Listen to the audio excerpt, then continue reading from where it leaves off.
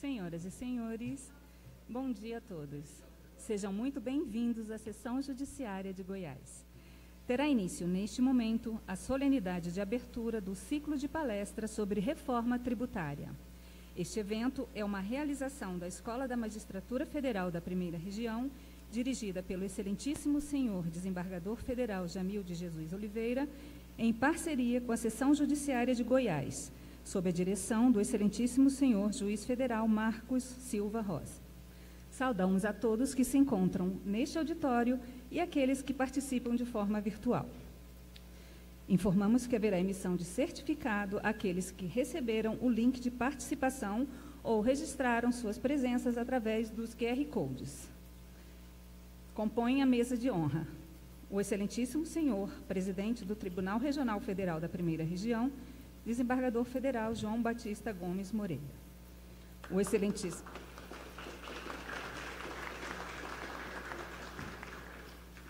O excelentíssimo senhor, representante do governo de Goiás, procurador-geral do Estado, Rafael Arruda Oliveira. O excelentíssimo senhor, corregedor regional da Justiça Federal da Primeira Região, desembargador federal Ney Belo. O excelentíssimo senhor, diretor da Escola da Magistratura Federal da Primeira Região, desembargador federal Jamil de Jesus Oliveira. A excelentíssima senhora, vice-diretora da Escola da Magistratura Federal da Primeira Região, desembargadora federal Maura Moraes Taia. O excelentíssimo senhor, diretor do Foro da Seção Judiciária de Goiás, juiz federal Marcos Silva Rosa. O excelentíssimo senhor, secretário-geral da Escola Nacional de Formação e Aperfeiçoamento de Magistrados, juiz federal Ilan Presser. Em nome de nossa mesa de honra, saudamos todas as autoridades aqui presentes. Para uma saudação de boas-vindas, com a palavra o excelentíssimo senhor, diretor do Foro da Seção Judiciária de Goiás, juiz federal Marcos Silva Rosa.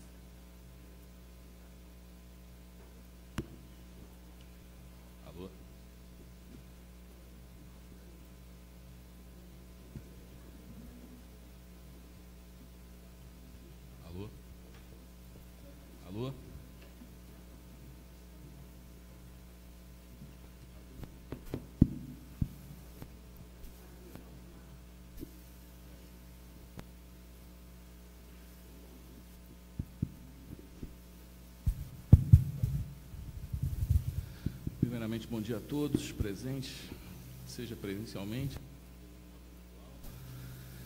É, o agradecimento da sessão judiciária de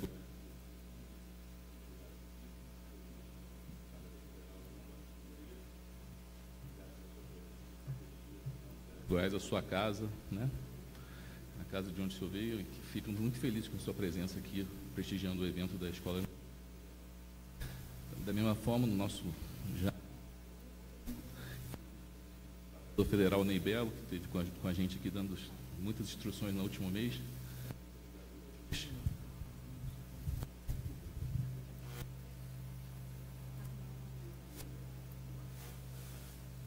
É, desembargador federal Ney Belo, continuando, obrigado pela sua presença aqui, da mesma forma. Desembargador Federal Jamil Jesus, muito obrigado pela escolha de Goiás aqui como sede desse evento muito desafiadores, temas, com temas desafiadores hoje em dia, né? Reforma tributária, algo que todos nós precisamos aprender um pouco mais. Desembargadora Federal Maria Maura também, muito obrigado pela sua presença aqui na nossa casa, né? Seja muito bem-vinda, obrigado também pelo prestígio. Doutor Ilan Presser, meu colega da Magistratura Federal, representando a Escola Nacional de Magistra... Formação de Magistrados, INFAM, né? Muito obrigado pela presença. No nome do qual eu saúdo todos os desembargadores e juízes federais aqui presentes também, conferindo prestígio à nossa casa, Seção Judiciária de Goiás. É, é, Procurador-Geral do Estado, muito obrigado pela presença do senhor também. Eu transmito nossos agradecimentos ao governador Ronaldo Caiado. Na próxima oportunidade, esperamos ele aqui na nossa casa também, da mesma forma. E a todos os presentes aqui, muito obrigado pela presença de todos. Enfim, é, quando eu fui há um mês atrás provocado pela Escola de Magistratura, realmente foi, encarei, doutor Jamil, como desafio colocarmos à disposição de Vossa Excelência e da Escola de Magistratura Federal Goiás, de novo no circuito de eventos, de, de eventos da primeira região, de formação dos magistrados e magistrados. Vê se funciona. Alô? Posso voltar para. Eu completei aqui o triatlon de microfone. Enfim, fiquei muito lisonjeado com a. Procuramos aqui, junto com Rogério, nosso diretor de SECAD e demais servidores, o Tiago na SECOS, aqui estabelecer um contato imediato com vocês lá da SMAF para procurarmos aqui colocar Goiás na melhor forma possível para receber vocês aqui nesses dois dias de intensas atividades. Eu tenho certeza que será muito desafiante para todos nós o contexto hoje de aprendizado da reforma tributária.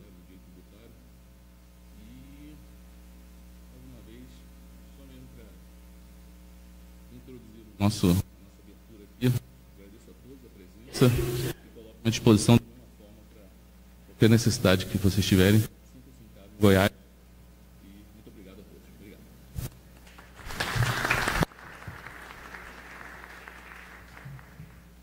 Para, pronuncia... para pronunciamento de abertura, com a palavra o excelentíssimo senhor, diretor da Escola da Magistratura Federal da Primeira Região, desembargador federal Jamil de Jesus Oliveira. Bom dia a todos. É um prazer estar aqui na sessão judiciária de Goiás para a realização desse evento pela Escola de Magistratura da Primeira Região. Saúdo a mesa de honra, composta pelo desembargador João Batista Gomes Moreira, presidente da mesa e do tribunal. Senhor Rafael, procurador Rafael Arruda Oliveira, representante do governador eh, Ronaldo Caiado, muito obrigado por sua presença neste evento. Desembargador Miguel, corregedor regional, desembargadora Maura Moraes Taia, vice-diretora da escola, juiz federal Ilan Presser, secretário-geral da Escola Nacional eh, de Magistratura, senhor diretor, juiz federal Marcos Silva Rosa. Muito obrigado, obrigado por suas palavras, obrigado pela acolhida aqui na sessão judiciária, que foi a minha sessão primeira, quando eu assumi o cargo, assumi aqui nesta sessão. Estava me recordando até com o desembargador João Batista, e nesta mesma mesa que aqui está, ela se localizava na na sala de audiência da primeira vara, onde eu fui prestar auxílio ao juiz federal João Fagundes Vieira, e a minha primeira é, sentença foi proferida exatamente nesta bancada. É uma alegria muito grande estar aqui. Não poderia, não poderíamos escolher outra sessão para começar a SMAF a realizar eventos nas sessões judiciárias. Eu, assim que assumi, é, pensei com os meus dois coordenadores, doutores Hugo Frazão e Matheus Pontalti, e a secretária executiva Gabriela Artiaga, de levarmos a escola às sessões judiciárias. Ah, ao invés de o juiz ir, a escola vai. É só uma troca de setas, mas muito significativa para os juízes do lugar e para a comunidade eh, jurídica do lugar. Quero saudar também o doutor Chamil Cipriano, presidente da AJUFER. A Escola de Magistratura se regozija de associar-se à direção do Foro da Seção Judiciária de Goiás para a realização deste ciclo de palestras sobre a reforma tributária, com o apoio da presidência do tribunal e unidades a ela vinculadas. Este ciclo de palestras se propõe a apresentar aos eminentes magistrados federais da primeira região e a todos quantos se interessam em discutir este tema algumas alterações introduzidas, introduzidas no sistema tributário do país pela emenda constitucional número 132, de 20 de dezembro de 2023. É antigo aforismo de que na vida só há duas certezas o imposto e a morte. E disto estão tão convencidos, todos nós, que agora os bebês já nascem registrados no CPF. No mesmo dia ou dias depois do nascimento, que, com, número que, com número que já os identificam como contribuintes que serão um dia. E eu não vou me surpreender, desembargadora Maura, se no dia que o enfermeiro estiver colocando aquela pulseirinha num braço, o auditor da Receita não está botando uma outra no braço direito. Contribuinte, já, já trazendo esta, esta realidade que é imposta a todos nós. As grandes revoluções do mundo ocidental tiveram na sua base, direta ou indiretamente, a questão tributária e só para citar algumas delas, sabe-se que a independência americana teve como um dos seus gatilhos o imposto do chá na importação desse item pelas antigas 13 colônias, tendo sido então atribuído pela coroa britânica à Companhia das Índias Ocidentais o monopólio da venda do chá. Neste evento, que foi, ficou conhecido como Boston Tea Party, os produtores de chá de Massachusetts jogaram ao mar essas, essa mercadoria que vinha sendo trazida pela Companhia das, Índia, das Índias Ocidentais e altamente taxada. E isso deflagrou, é, não só, mas também ajudou a deflagrar o movimento pela independência americana. A Revolução Francesa também tem, sua, no, como um de seus matizes, a a alta taxação é, para fazer face às despesas da, da nobreza, é, é, a nobreza e da coroa, né, para a construção das, do Palácio de Versalhes especificamente. Uma nobreza altamente perdulária. E no Brasil, todos nós sabemos que a exigência da quinta parte do ouro ao tempo da colônia ainda em meados do século XVIII, desencadeou a Inconfidência Mineira, embrionária da independência do país tempos depois. De maneira que a relação Estado, formal ou não, com os seus súditos sempre trouxe grandes é, fontes de atritos. As exigências pelos Estados nacionais modernos de recursos para a prestação de serviços públicos é sobranceira nos Estados Unidos, a doutrina da desobediência civil teve como fundamento básico o anseio de não se pagar tributo, é, isto em razão de a, estar havendo a guerra entre Estados Unidos e México, e um dos é, contribuintes se insurgiu contra essa tributação. E ele foi preso por esta razão e desenvolveu, ficou preso por apenas um dia e desenvolveu ali é, a sua teoria sobre a desobediência civil, que posteriormente influenciou, é, por exemplo, Mahatma Gandhi. Muito bem, a Constituição do Império dispunha solenemente que todos são obrigados a contribuir para as despesas do Estado na proporção dos seus haveres.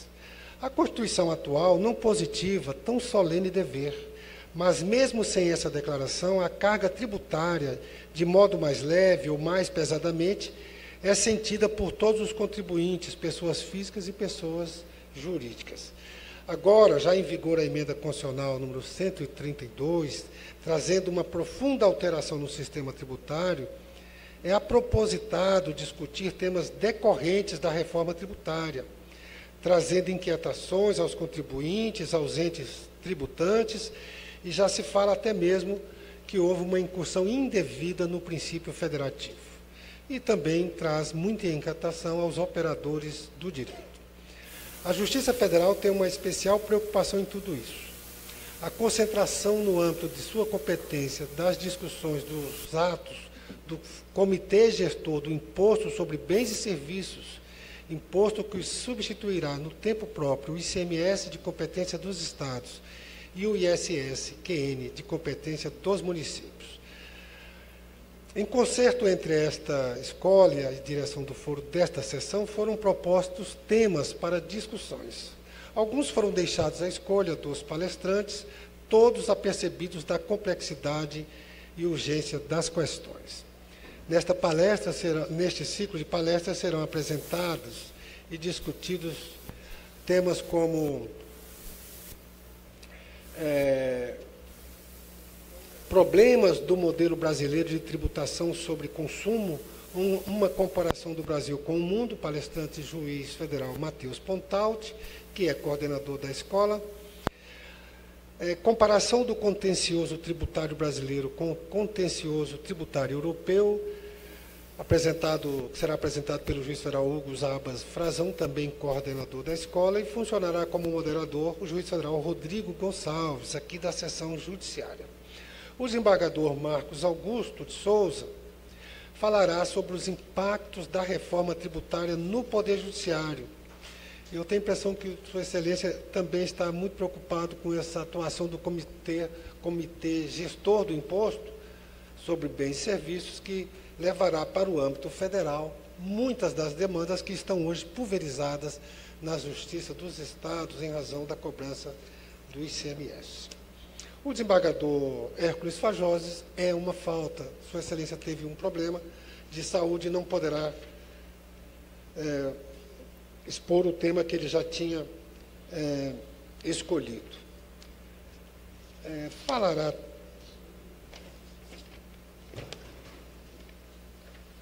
Haverá também uma palestra sobre tributação sobre o consumo e capacidade contributiva, a ser proferida pelo professor Francisco Mata Machado Tavares. Funcionará como moderador o juiz federal Alisson Fontinelli. Falará também sobre falará também a professora Maria Tereza Ruas Coelho sobre imposto seletivo. E o juiz federal Leonardo Buissa Freitas falará sobre características normativas do imposto seletivo. Muito obrigado por ter aceitado o convite doutor Leonardo Buissa. E agradeço também a todos quantos falarão. E funcionará como moderador desse painel o desembargador Marcelo Albernaz. O juiz federal Eduardo de Assis Ribeiro falará sobre IBS, CBS e imposto seletivo, regras de transição e impactos sobre a Zona Franca de Manaus. Falará sobre comitê gestor do IBS a professora Talita Félix e o moderador será o doutor Juliano Tavira Bernardes.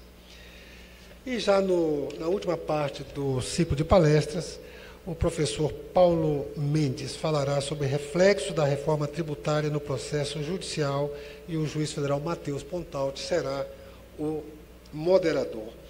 E, por fim, o professor Arthur Maia Ferreira Neto falará sobre os novos princípios tributários introduzidos pela emenda constitucional número 132.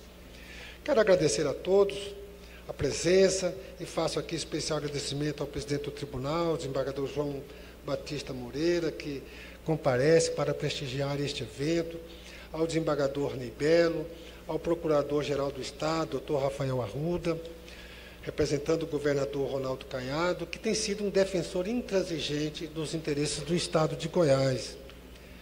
Agradeço a todos os eminentes palestrantes e aos eminentes colegas, que vieram prestigiar o evento, participar, aurir conhecimentos, debater com os palestrantes, e ao doutor Roberto Carlos, diretor-geral, que aqui está.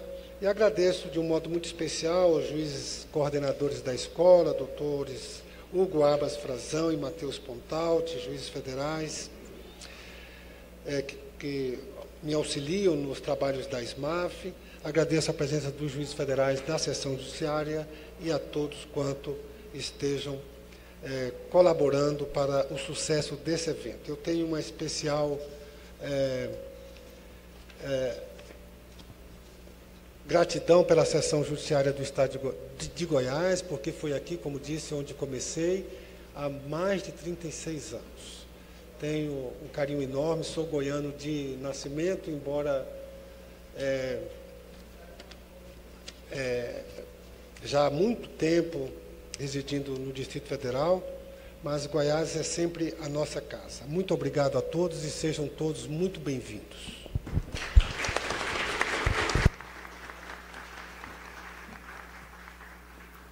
Com a palavra, o excelentíssimo senhor secretário-geral da Infam, juiz federal Ilan Presser. Bom dia. A todos e todas. Uma grande honra, alegria ter a oportunidade de estar aqui em Goiânia. É a primeira vez que eu venho a Goiânia desde o meu casamento com uma goianiense, que eu exportei para Brasília. Então é sempre bom voltar aqui. É uma cidade que eu aprendi a amar, aprendi a gostar e sempre que tenho oportunidade venho para cá. Quero também cumprimentar o nosso presidente, desembargador João Batista, nosso corregedor, desembargador Ney Belo, nosso diretor da escola, desembargador Jamil, nossa vice-diretora, desembargadora Maura, o diretor do foro aqui da sessão eh, judiciário Marco Silva Rosa e o procurador-geral do Estado Rafael Arruda Oliveira, que representa o governador. É, em relação a esse tema da reforma tributária, eu ainda quando coordenador pedagógico da escola, me recordo que a desembargadora Gilda colocou isso como prioridade desde a sua aprovação da emenda 132 de dezembro de 2023. Havia muito ceticismo sobre a possibilidade de uma reforma tributária ser aprovada no Brasil, uma vez que décadas de tramitação nunca eram suficientes para se formar um consenso em relação a esse tema. Então, é, todos diziam, é, desde a época até em que eu estava na graduação, não vai passar nunca uma reforma tributária e nunca o imposto sobre grandes fortunas. Esse ainda aguarda, quem sabe um dia é, será aprovado. E em relação à reforma tributária, desde a faculdade também eu me lembro de críticas sobre a regressividade do nosso sistema que pesa sobre os mais pobres é, muita tributação sobre o consumo, sobre serviços, aliada a uma tributação menor sobre renda e patrimônio, ao contrário de muitos outros países, o que amplifica a desigualdade social existente no Brasil e dificulta a concretização da justiça fiscal. E é, é, muito difícil, naturalmente, aprovar uma reforma tributária, porque o cobertor é curto, em tema de recursos financeiros, é o princípio básico da economia é, de que se alguém ganha, outro está perdendo e os recursos são sempre escassos. É, de forma que houve essa aprovação no final de 2023, eu me lembro toda a festa ali no Congresso Nacional, mas o fato é que os eventos posteriores, inclusive esse que a SMAF realizou, me parece que a SMAF foi a primeira escola judicial a fazer um evento sobre reforma tributária lá em Salvador. E aí, olha, tem que esperar a regulamentação. Muito na verdade, é, houve aprovação, mas a densificação só vamos saber exatamente o que é a reforma tributária com a aprovação das leis complementares que ainda virão. Então, o objetivo da reforma tributária, basicamente, ele tira cinco tributos, né? ICMS, IPI, ISS, PIS, COFINS, para dar lugar a um IVA dual, que é o CBS, o IBS, e também o imposto seletivo é, essa é a ideia base, mas as leis complementares vão definir é, se os objetivos estabelecidos pelo legislador vão ser alcançados. Quando havia antes da reforma tributária eventos, seja eventos de acadêmicos, seja eventos promovidos pelo setor produtivo, é, por empresários e tal, o fato é que uma unanimidade eram as críticas a um sistema pesado, ineficiente, com muitas obrigações acessórias, confuso, com custos elevados de transação e que acabava por gerar gargalos a possibilidade de crescimento econômico e desenvolvimento do país. É, também a guerra fiscal gerava problemas federativos e a promessa da emenda é buscar, ao menos, mitigar esses problemas. Agora, o, a regulamentação e a própria emenda colocam um prazo longo de transição de oito anos é, e ao longo desse tempo é que nós verificaremos se esses objetivos pretendidos podem ou não ser alcançados, qual seja, criar um ambiente de negócio seguro. É, eu me lembro que o Supremo tantas vezes se debruçou para dar um exemplo sobre a base de cálculo do ICMS da PiscoFins, recentemente, de novo, o Supremo foi falar sobre esse tema, até o presidente, de novo, esse tema, é, que não acaba, né? Então, é, me parece que a, a ideia de mais segurança jurídica, de redução da guerra fiscal, de criação desse ambiente de negócios que estimule a produção, porque isso vai gerar empregos, vai gerar crescimento da economia e também vai gerar é, mais arrecadação. A questão da própria justiça fiscal, primeiro entre os entes federados, a previsão de criação de um fundo de compensação, é, importante também para o desenvolvimento econômico das várias regiões do país e principalmente a simplificação. Há no Brasil uma dificuldade muito grande, até para quem quer pagar os tributos, é, de cumprir todas as obrigações acessórias que se colocam. Né? Então, a simplificação e também outro objetivo pretendido é a redução da cumulatividade, embora a Constituição coloque a não cumulatividade, na prática é difícil é, fazer a alocação precisa disso. E é, essa transição complexa que vai ser feita, primeiro a transição já estabelecida na emenda, depois as leis serão aprovadas e, e a própria apreciação do Supremo sobre a constitucionalidade dessas leis e mesmo da emenda, porque o Supremo pode fazer o controle de constitucionalidade também das emendas constitucionais, é, vão aos poucos é, demonstrar se esses objetivos pretendidos vão ser possíveis de ser alcançados, se nós teremos ou não o aumento da carga tributária e se os conflitos federativos, muitas vezes fratricidas, pertinentes à guerra fiscal, vão se acabar, né? ou pelo menos vão ser mitigados. E também algo que interessa muito ao Estado aqui de Goiás, as implicações regionais, né?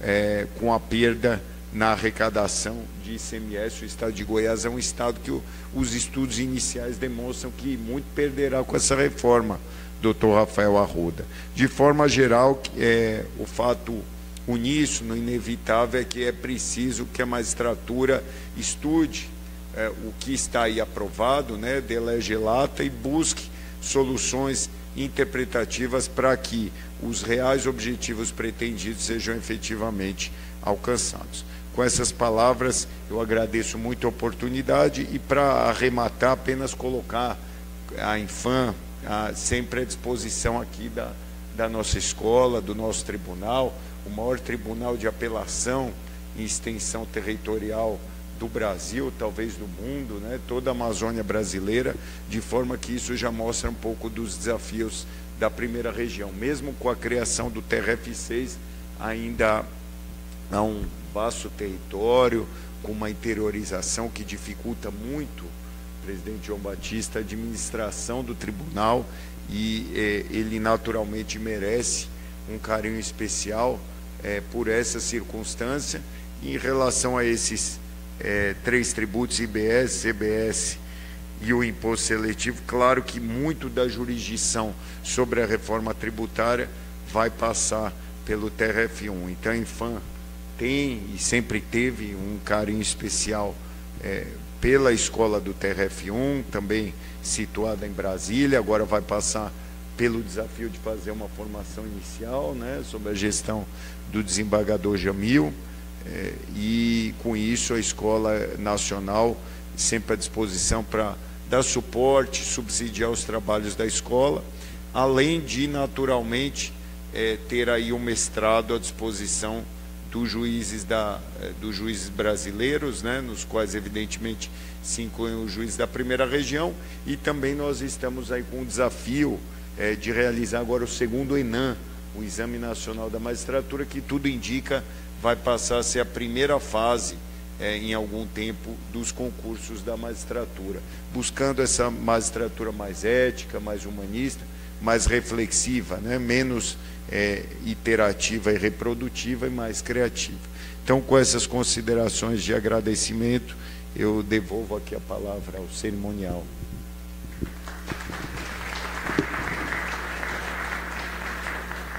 Passamos a palavra à excelentíssima senhora vice-diretora da SMAF, desembargadora federal Maura Moraes Taia.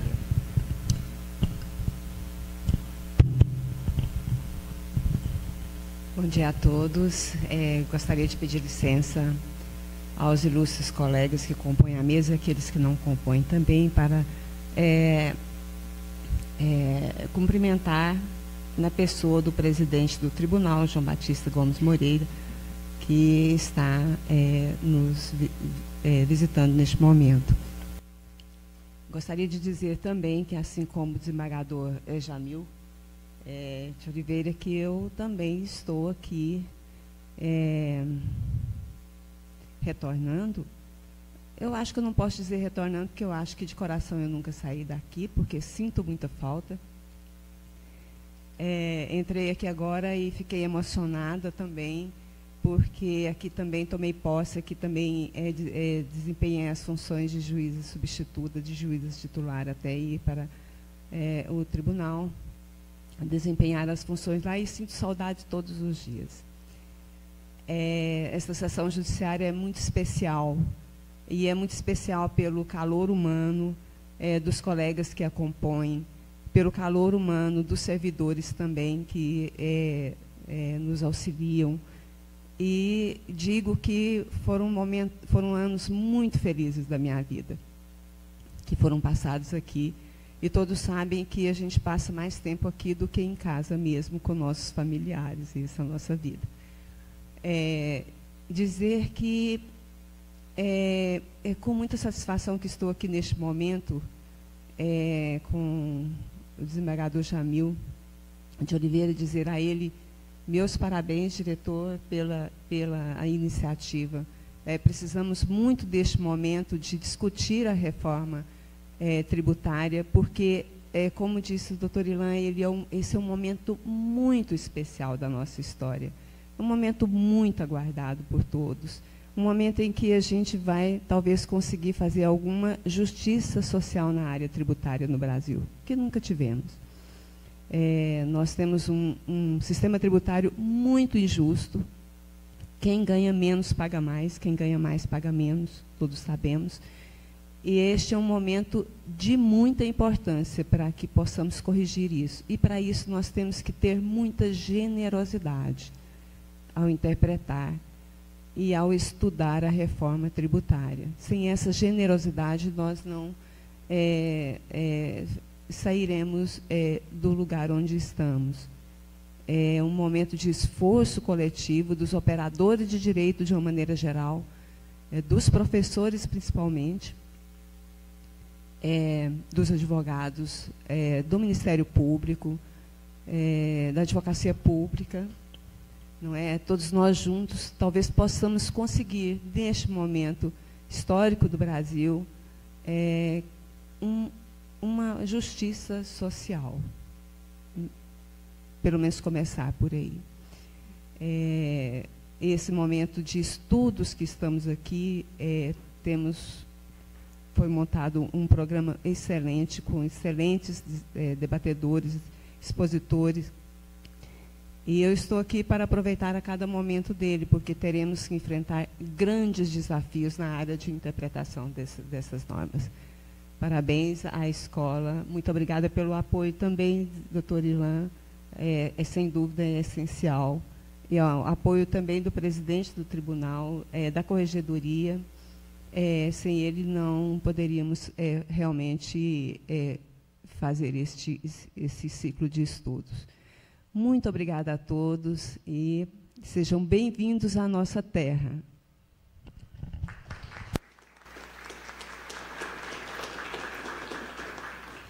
Para pronunciamento, o excelentíssimo senhor Corregedor Regional da Justiça Federal da Primeira Região, desembargador federal Ney Belo. Bom dia a todos e a todas. Uma saudação em nome da eu na pessoa, melhor dizendo, da nossa desembargadora Maura Moraes e vou estender a todos os juízes federais, desembargadores, componentes da mesa, ao doutor representante do governo do Estado também, desembargadora Maura. Senhores, a magistratura é uma opção naturalmente conservadora. Isso não significa que algo seja mal, mas é uma opção pela manutenção conservadora daquilo que nos apresenta o direito positivo, a praxe do dia a dia do judiciário. E para que isso possa ser equilibrado devidamente numa balança, que é o nosso símbolo, nós precisamos de eventos como esse, do Gemil. Hipóteses em que nós nos desafiemos a discutir o novo, ou a compreender quais são as modificações de um novo status que alterará toda aquela nossa tranquilidade ou aquela nossa zona de conforto julgando aquilo que já estamos acostumados.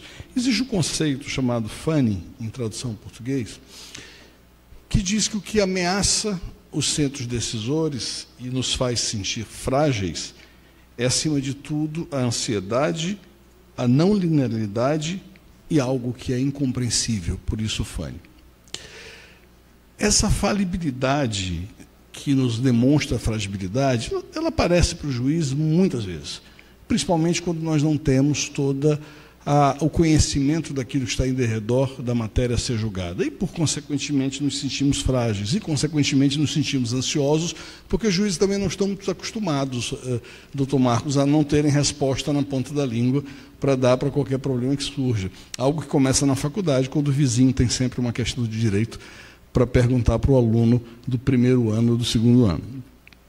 E aquilo que não é não linear, ou seja, não é um planejado problema que surge, mas é algo que surge aleatoriamente das próprias idas e vindas da sociedade pós-moderna, aumenta a ansiedade e aumenta, consequentemente, a nossa noção de fragilidade, porque torna, não raro, incompreensível aquilo que nós estamos fazendo, o porquê do estarmos fazendo e a consequência do que estamos fazendo. Se a neurociência tem razão ou não com o conceito de Fanny, uma coisa fica clara para todas as pessoas que trabalham essas alterações do conhecimento na pós-modernidade nos tempos que correm, é a necessidade de combater isso com volume de conteúdo, com estrutura.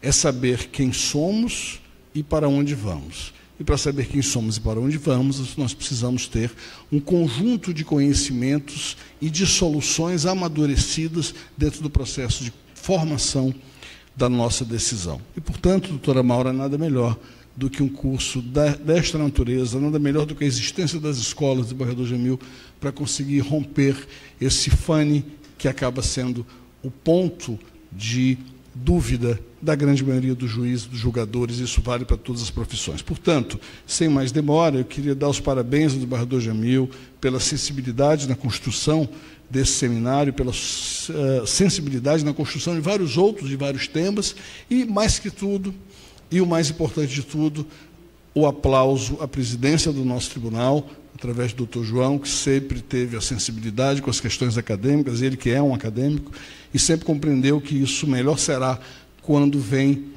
colado, vem ao lado, vem próximo da praxe, do dia a dia, transformando o conhecimento em algo que não seja etéreo, mas algo concreto para a formação das nossas decisões dia a dia. Portanto, o meu sincero aplauso e agradecimento a todos os magistrados envolvidos na construção do seminário, desejando a todos bons dias de boas discussões. Obrigado.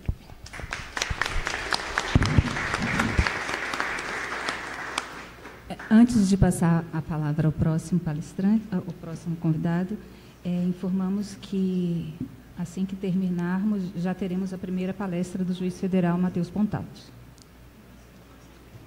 Com a palavra, o excelentíssimo senhor Procurador-Geral do Estado de Goiás, Rafael Arruda Oliveira.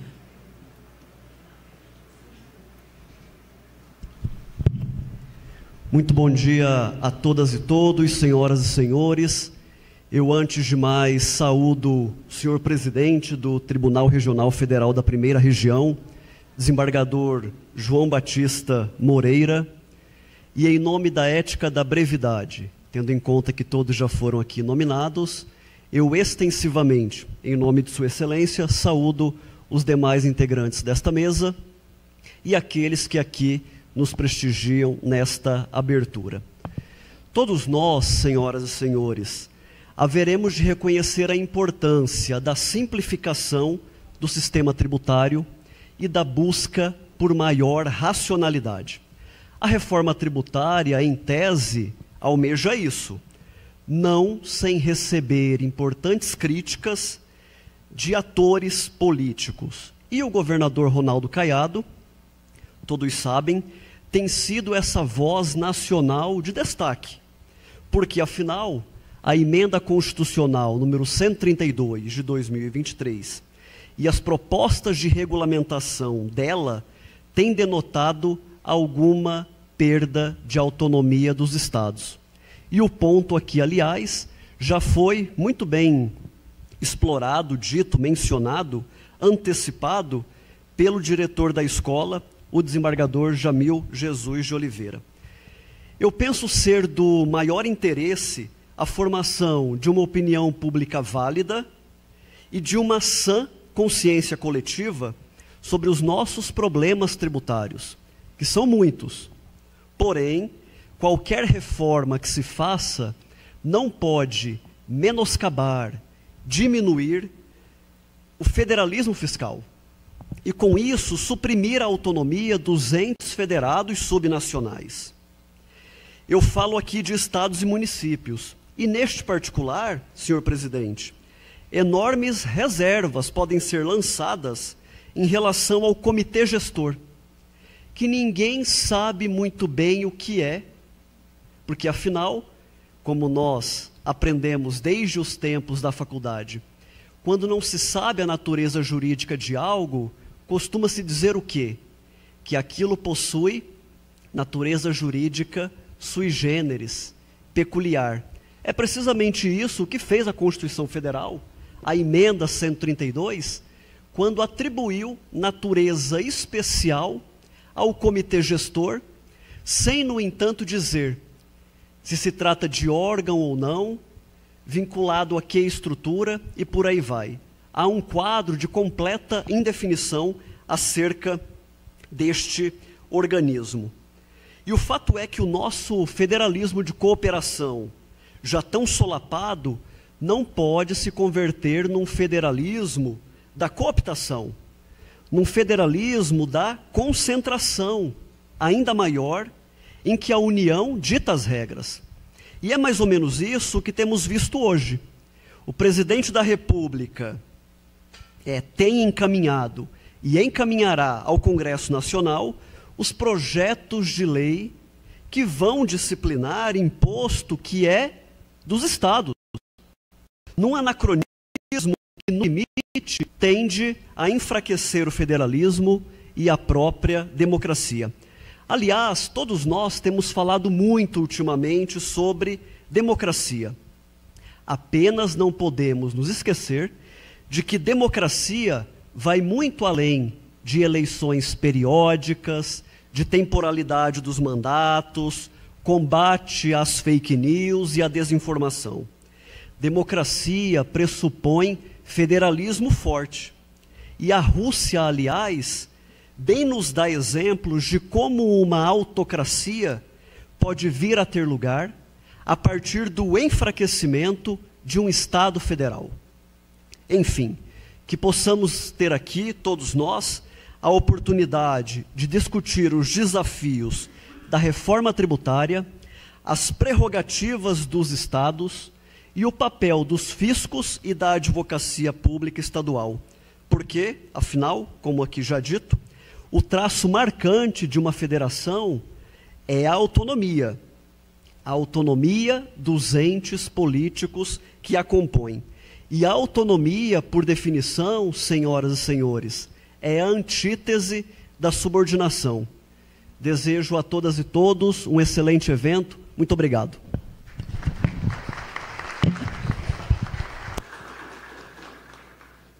Com a palavra, o excelentíssimo senhor presidente do Tribunal Regional Federal da Primeira Região, desembargador federal João Batista Gomes Moreira. Bom dia a todas e todos presentes aqui neste auditório, pelo Brasil afora, nos acompanhando.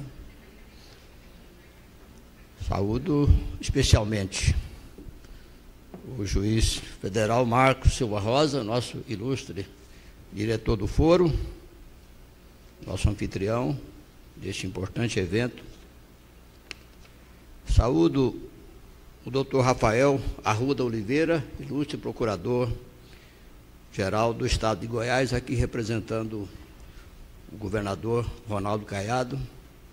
Leve, senhor procurador, ao governador Ronaldo Caiado, nosso abraço e mais uma vez, o nosso agradecimento pela distinção que ele tem feito à Justiça Federal. Dos, do, pelo que me recordo, foi o único governador até hoje de, do, do estado de origem de presidente do tribunal que compareceu à posse. Me senti muito honrado com a presença dele lá, por ocasião da posse. Em seguida, recebi uma, uma comenda, mais alta comenda do estado de Goiás, que é a comenda do Anhanguera, concedida pelo, também pelo governador, de modo que eu pessoalmente não mereço, mas a Justiça Federal do Brasil, e particularmente de Goiás, merece. E nós leve ao senhor governador os nossos agradecimentos por isso.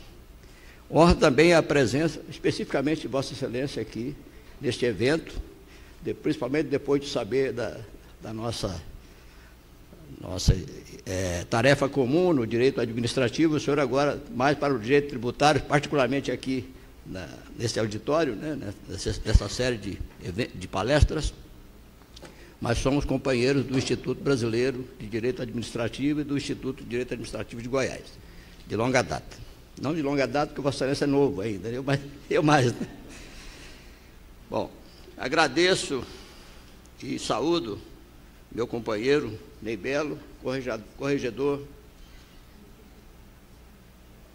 do Tribunal Regional Federal da Primeira Região.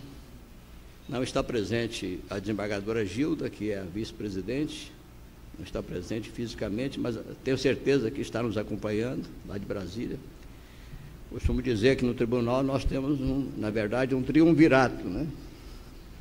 A administração não é exercida só pelo presidente, mas sim, principalmente pelos três, presidente, vice e corregedor, e por todos os colegas desembargadores, não só desembargadores, juízes auxiliares, especialmente. Aqui me faço um elogio público ao nosso diretor-geral, doutor Roberto Carlos, que está representando uma, uma revolução na administração do Tribunal e da Justiça Federal. Não que os outros diretores não tenham sido muito bons, foram muito bons, mas ele está dando uma outra visão uma visão de magistrado, de prioridade para a atividade fim, de modo que ele merece, não sei se o Roberto Carlos está aqui presente, está ali, merece uma salva de palmas, o nosso diretor-geral.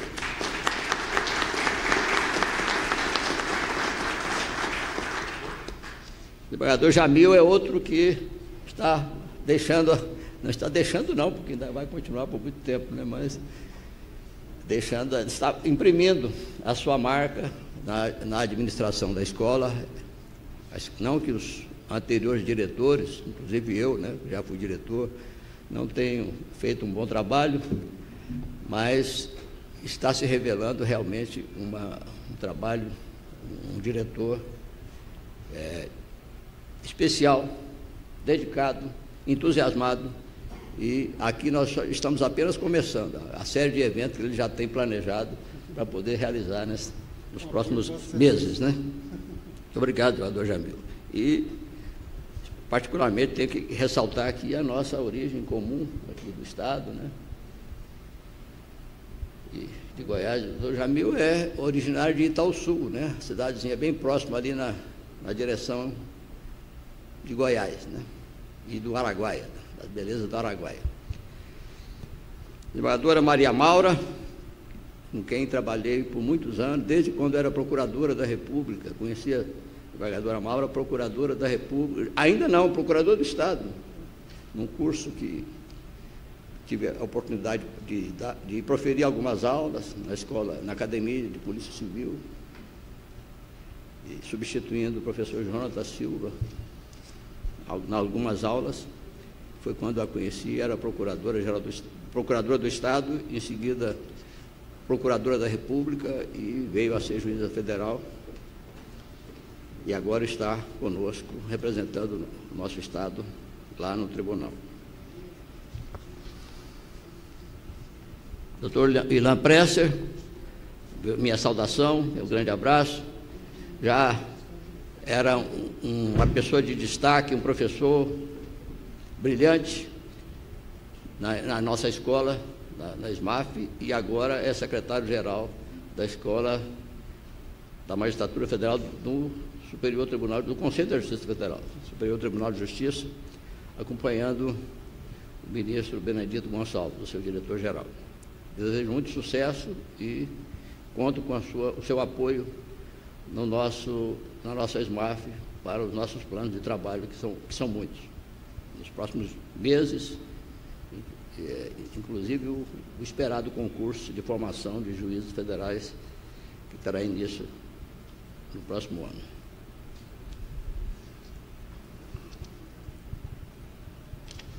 Saúdo meus colegas que estão aqui na primeira fila, né, o Marcos Augusto, que também é originário de Goiás, Leão e Veloso. Veloso tive o privilégio de ter na, na companhia. Né?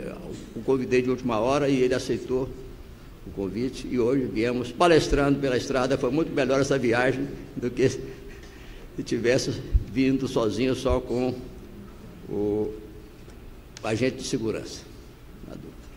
Saúdo todos os juízes federais, na pessoa de quem eu vejo aqui na primeira fila, o doutor Matheus Pontalti. Eu já conhecia né, pela internet, pelo, pelo Google, visitando as suas falas, as suas aulas. E me surpreendeu quando eu ia saindo de Belo Horizonte, há uns 15 dias, e vi o grande livro que, de que ele é autor, né, de Direito Tributário. Não tive a oportunidade de ler ainda, mas pretendo ler.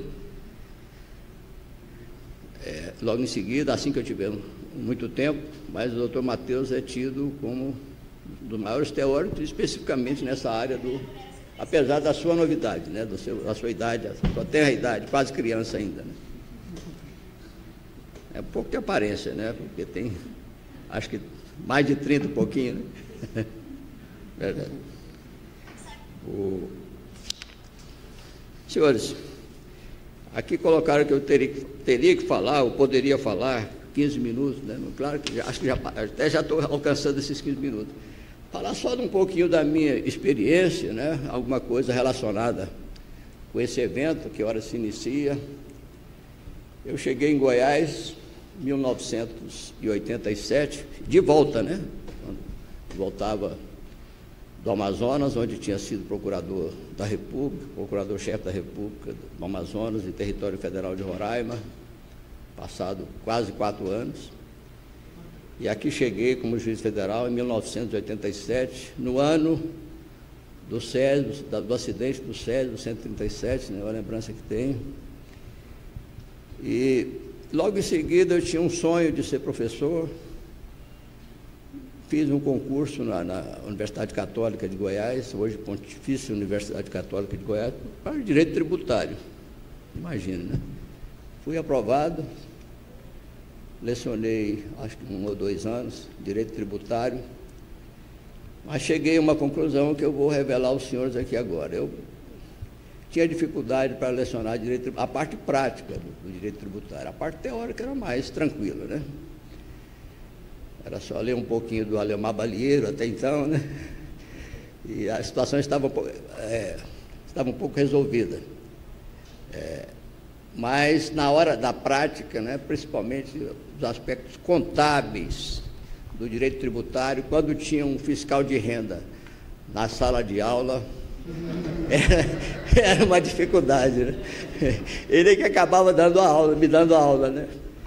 Então, eu já deixo aqui com os senhores é, um, esta experiência né, que, que tive e que eu penso que nós deveríamos nos preocupar um pouco também com a parte prática do direito tributário. Quem sabe até, do, do, do Jamil, na escola, é, desenvolver um curso, um estágio, um, um evento, né, uma, uma, um treinamento em termos de contabilidade prática, né? aplicação prática, é, e a contabilidade tributária, que é uma, eu penso que é uma carência. Eu senti, naquela ocasião, naquela época, essa necessidade, e como eu não tinha tempo para poder me dedicar a estudar contabilidade, né? já sendo juiz, professor, eu preferi deixar o direito tributário e fui para o direito administrativo, doutor.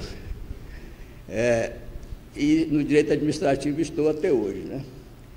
No tribunal ainda não exerci função, a única sessão em que eu não exerci, não participei dela até hoje, foi a quarta sessão, que tem na competência direito financeiro e direito tributário. Na primeira sessão também não fui titular, mas já, já, já fui presidente de turma descentralizada em Juiz de Fora, que cuidava especialmente de previdenciário, de servidor público. Mas tive experiência, particularmente, fiquei mais de 20 anos na terceira sessão, que cuida mais, é, predominantemente de direito administrativo, e passei depois, tendo ido sido convocado para o STJ na área do direito penal, decidi me transferir para a segunda sessão, de modo que tenho também um, um pouquinho de, de experiência, né, de passagem pela segunda sessão do direito penal, mas é, a quarta sessão ainda não tive a experiência. Quem sabe, hora, na hora que sair da presidência, né, desembargador Marcos, eu possa voltar e no meu último ano de, de atividade, né, que aí logo em seguida virar aposentadoria, quem sabe eu possa ter experiência, então, no tributário, financeiro e tributário, na quarta sessão, e é por isso que eu deveria, não deveria fazer como estou fazendo hoje, vindo só para essa abertura e voltando para Brasília, mas já começar a pensar no direito tributário, acompanhar, né, ter as primeiras noções aqui desse curso, que vai ser muito bem desenvolvido. Eu, com essas palavras, eu agradeço, né, principalmente ao desembargador Jamil pela iniciativa, agradeço pelo fato de ter dado destaque especial a Goiás com esse evento tão importante da escola, nesse, nesse momento tão importante. E agradeço a todos que vão participar como palestrantes, os senhores que vão participar com, com, no debate, né, no, no debate que naturalmente vai surgir das exposições e aqueles que estão fora de Goiás, que estão nos acompanhando, agradeço especialmente né, pela participação. Espero que seja um, evento de muita utilidade. De modo que é isso, agradecendo a todos, eu deixo aqui o meu abraço e falo, reitero a alegria de estar em Goiás, de onde nunca saí, como disse a trabalhadora Maura também, né? nunca saí daqui. Muito obrigado.